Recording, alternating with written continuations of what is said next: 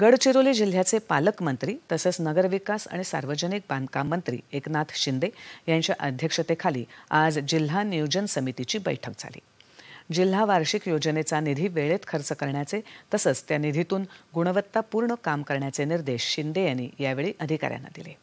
Corona काळात निधीबाबत प्रश्न निर्माण झाला होता मात्र आता शंभर टक्के निधी जिल्हा वार्षिकमधून वितरित करण्यात आला आहे. मंजुरी मिळालेल्या कामांच्या गुणवत्तेमध्ये कोणतीही तडजोड होता कामा नये अशा सूचना त्यांनी दिल्या. दोन हजार वीस एकवीससाठीच्या सुधारित अर्थसंकल्पात चारशे एकोणचाळीस कोटी चौऱ्याहत्तर लाखांची तरतूद करण्यात आली असून त्यापैकी अडतीस टक्के खर्च झाला आहे. पुढील वर्षासाठी तीनशे छप्पन्न कोटी एकोणचाळीस लाख प्रस्तावित करण्यात आले आहेत तर पाचशे दहा कोटी अठरा लाखांची अतिरिक्त मागणी आहे असं शिंदे म्हणाले.